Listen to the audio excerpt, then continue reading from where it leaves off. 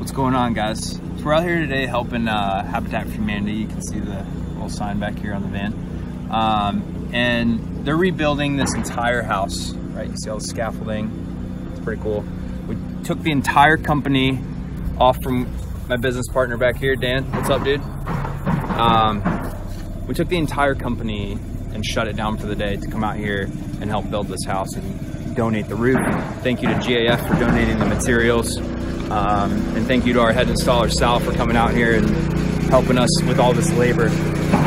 You know, a lot of people will say, you know, you're crazy. You shut down your company for an entire day. That's so much money lost, you know, in revenue for the year. And now your guys aren't going to be able to work for the next few days because they're going to be sore. And we've got sales guys out here helping clean up and install.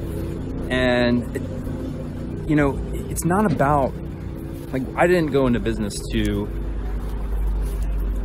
you know, make, like, it's not about money, right? It's about doing something, creating something bigger than yourself. And the best way we can do that is by helping people. And, you know, I can't think of any better way to help someone than literally put a roof over their head.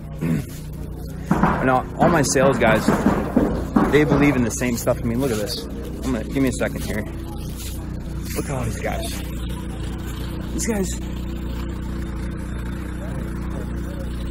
they're not, these are not our installers. We have our head installer out here helping lead the way, but they're donating their time because they believe in something bigger than just installing roofs and, you know, trying to make a profit. Like we want to help as many people as we can.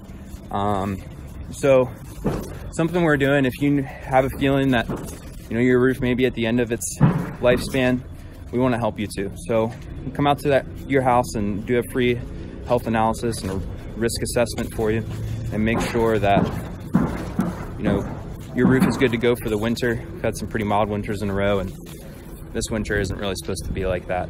So, you know, we just want to help as many people as we can and if you roof your home is 15 20 25 years old and you haven't replaced your roof in a while might be a good time to get checked out for winter gets here we do this no cost we just want to help as many people as we can um, and be prepared for the winter and make sure you don't have any surprises and need to stress if the roof starts leaking.